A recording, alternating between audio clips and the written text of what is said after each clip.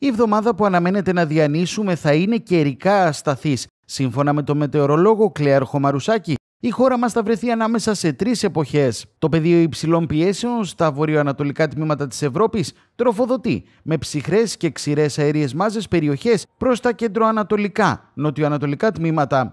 Στον αντίποδα, στο πεδίο υψηλών πιέσεων στα νοτιοδυτικά τμήματα της Ευρώπης, η αλλιώ αντικυκλώνας των Αζόρων τροφοδοτεί με θερμές αέριε μάζες από την Αφρική, τμήματα της Νότιας Ευρώπης. Τέλος, οι χαμηλές πιέσεις στα βορειοδυτικά τμήματα της γυραιά Υπήρου φέρνουν καλοκαιρίες με πολλές ισχυρές βροχές που φτάνουν μέχρι την κεντρική Ευρώπη. Αυτή η ατμοσφαιρική κυκλοφορία φαίνεται να διατηρείται για πολλές ακόμη ημέρε, με αποτέλεσμα αυτήν την εβδομάδα να έχουμε έντονα καιρικά φαινόμενα και σκαμπανεβάσματα.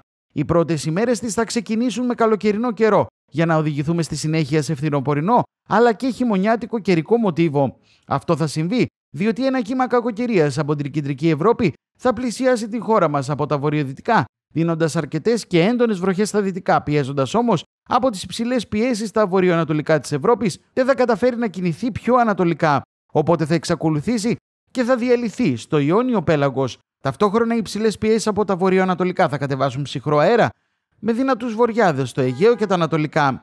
Έτσι λοιπόν, από την οροσυρά της Πίνδου και πιο δυτικά θα επικρατεί φθινόπωρο, ενώ ανατολικότερα αυτής ο καιρός θα θυμίζει χειμώνα με βορειάδε, κρύο, οι οποίοι θα κυριαρχήσουν.